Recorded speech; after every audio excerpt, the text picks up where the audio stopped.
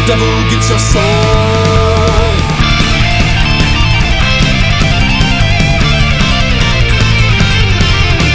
The devil opened up his case he said, I'll stop the show. And fire flew from his fingertips, he rosined up his bow. And he pulled that bow across the strings and it made an evil hiss. Then a band of demons.